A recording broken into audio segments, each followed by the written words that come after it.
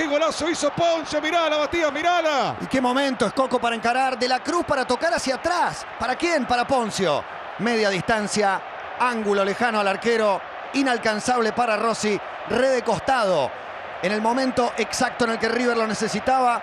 En el que buscaba, en el que presionaba. Con más personalidad que fútbol.